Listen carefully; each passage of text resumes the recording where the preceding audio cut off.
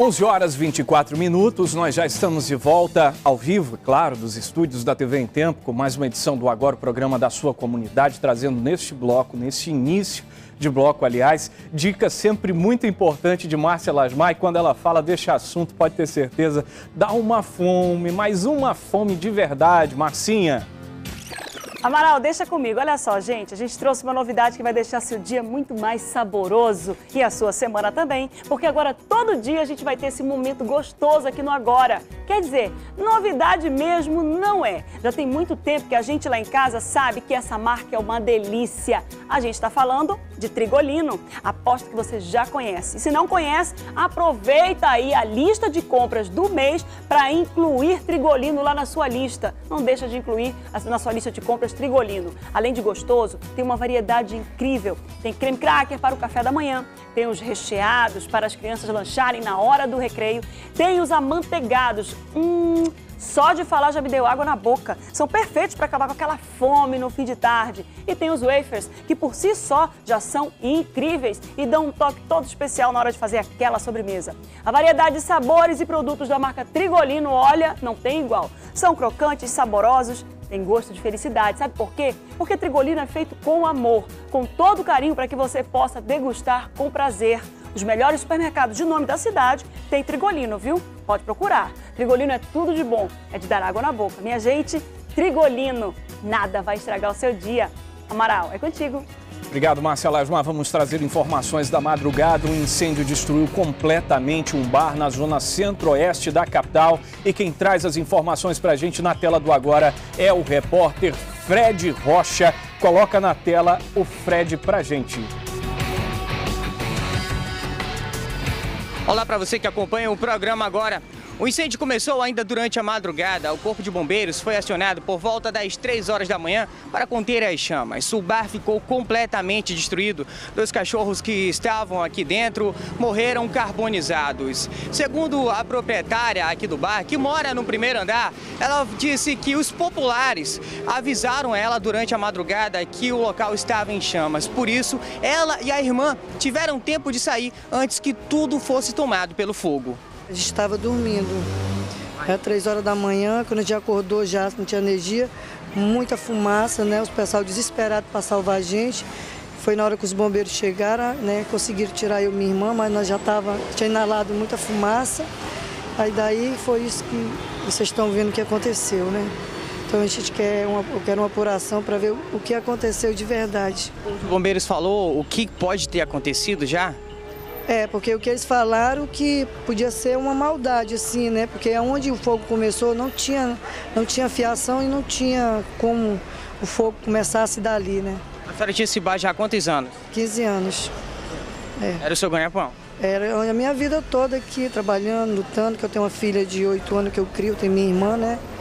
Que eu ajudo também, que ela me ajuda, eu ajudo ela, né? E agora está assim, sem saber que pode acontecer, o que vai acontecer, como ajuda sei.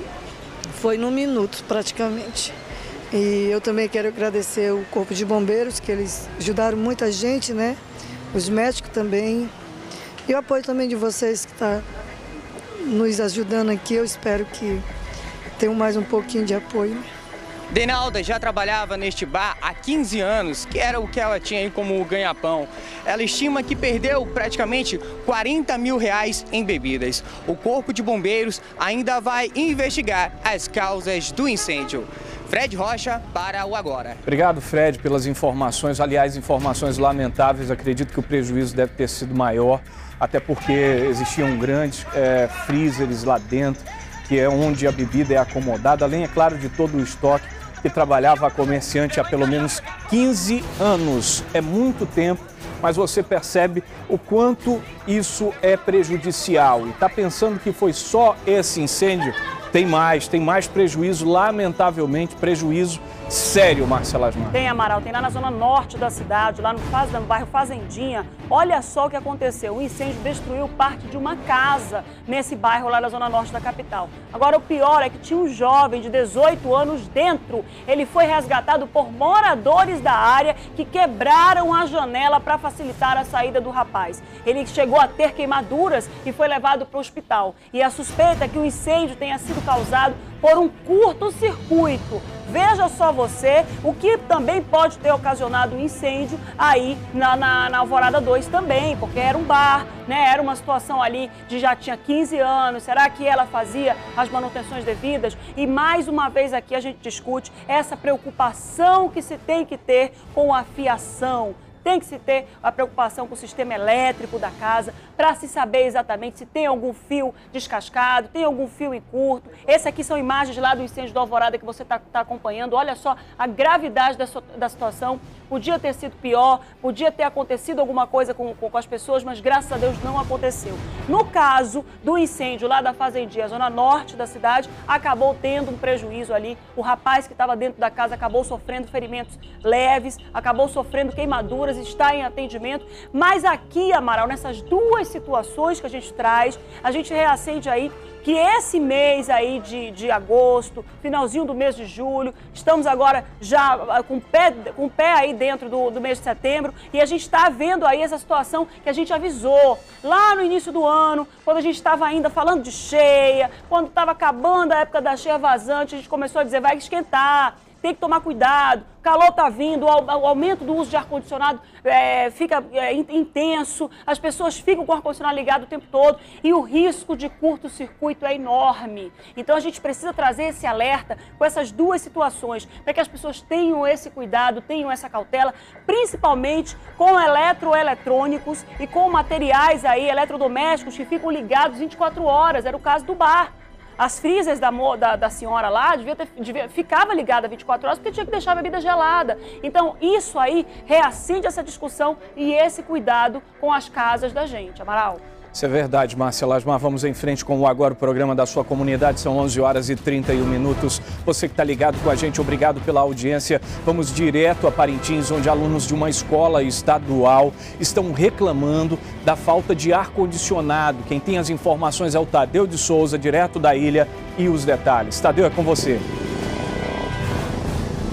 Boa tarde, Amaral. Boa tarde, Márcia. Boa tarde a todos que acompanham o programa da comunidade. Alunos da Escola Estadual Senador Álvaro Maia, aqui no centro de Parintins, chamaram a reportagem do programa da comunidade para fazer um apelo à Secretaria de Educação do Estado do Amazonas, SEDUC. Estou aqui com um dos estudantes. Boa tarde, teu nome completo? Alan Silva Lima. Boa tarde. Qual é o apelo, Alan?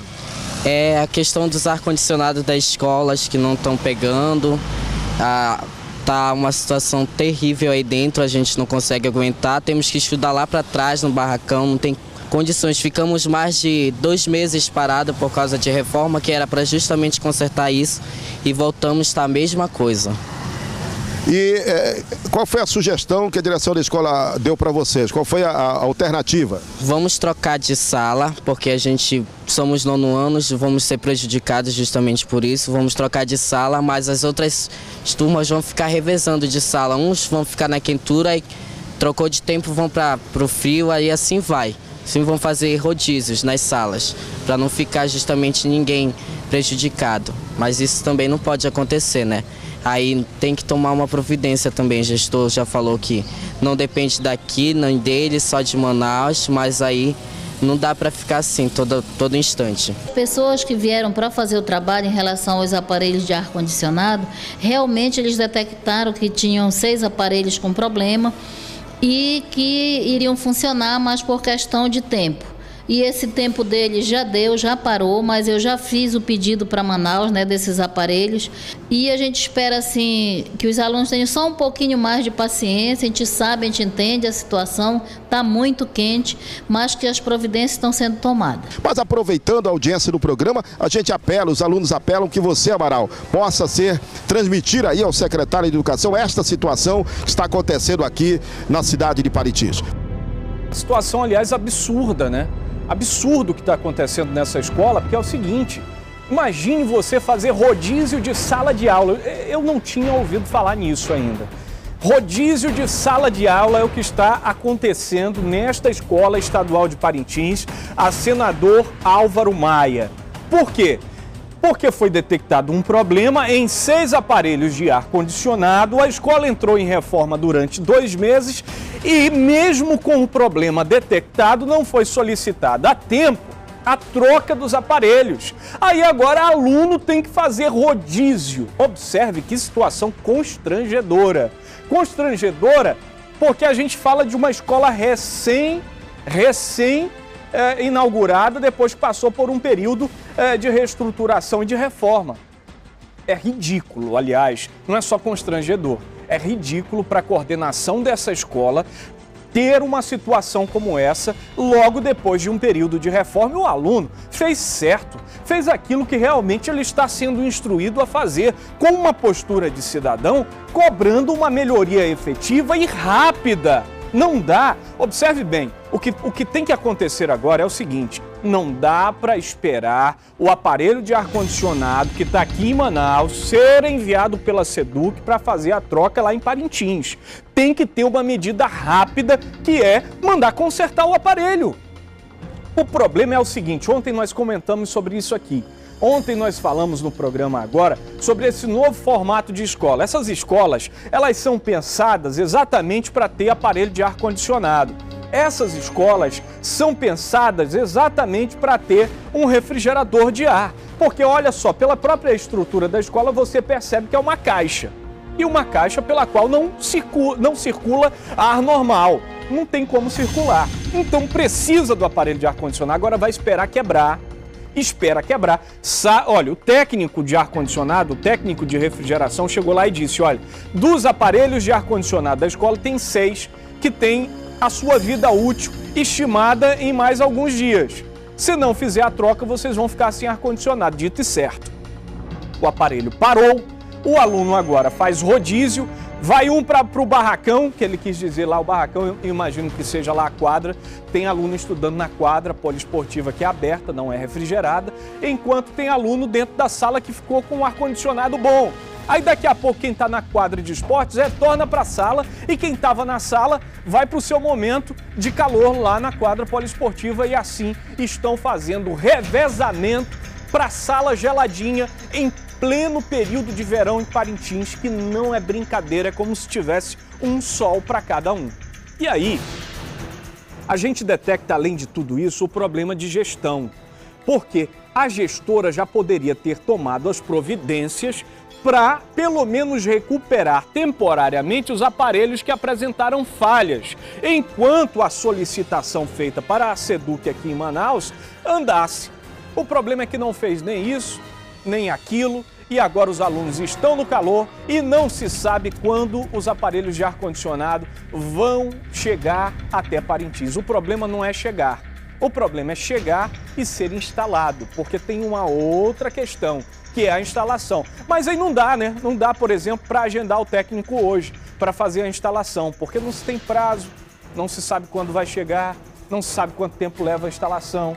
A produção do Agora já está entrando em, em contato com a SEDUC para saber qual o tempo estimado dos aparelhos de ar-condicionado chegar lá em Parintins para fazer a substituição. Porque é inadmissível que em uma escola pensada para ter aparelho de ar-condicionado, aluno faça revezamento de sala fria. Que é o que está acontecendo na Senador Álvaro Maia, em Parintins. Nós vamos continuar mostrando isso aqui até que a providência seja tomada. Aliás, a gestora precisa tomar providências imediatamente. Imediatamente. Este é o papel do gestor: solucionar problema. Se não faz, não serve para tal. Vamos em frente com o agora. São 11 horas e 38 minutos. Está chegando rapidamente Marcelo Asmar, trazendo mais uma dica para você que nos acompanha aí do outro lado, principalmente você que está assistindo agora em Iranduba. Obrigado pela sua audiência. Fique ligado no que diz Marcelo Asmar. Quer fazer o tempo parar para você? Então comece agora a tomar Imecap Rejuvenescedor. Veja como funciona. Comece agora a tomar Imecap Rejuvenescedor. Imecap Rejuvenescedor contém bionutrientes ativos que agem nas camadas mais profundas da pele, onde os cremes não alcançam. Imecap previne a formação de rugas e deixa a pele mais firme e jovem. Faça o tempo parar para você com Imecap Rejuvenescedor.